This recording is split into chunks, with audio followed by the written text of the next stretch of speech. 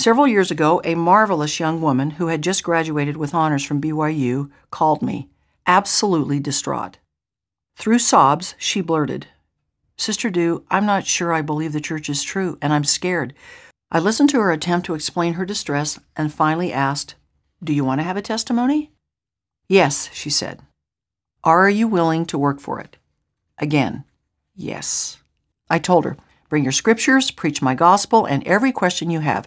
Questions are good. Let's see what the Lord will teach us together. She asked question after question that I had never even thought about. Good, intelligent, probing questions.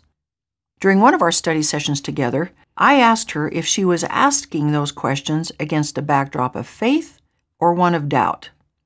She was trying very hard to exercise faith, and so we pressed on. We searched the scriptures and the teachings of prophets for answers in session after session together. One day, as we read portions of a recent General Conference address by a member of the Quorum of the Twelve, I could see that she was feeling something and asked what she thought her feelings meant. She acknowledged that she felt the Spirit as we read that talk.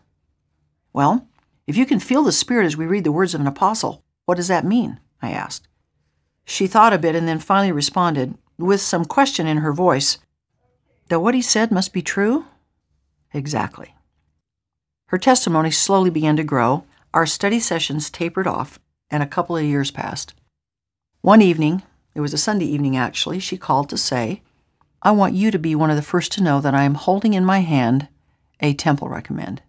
Will you come when I receive my endowment? She added her thanks for the time we'd spent together and then said, Do you know what you said that helped me the most? You told me to bring every question I had, because questions are good.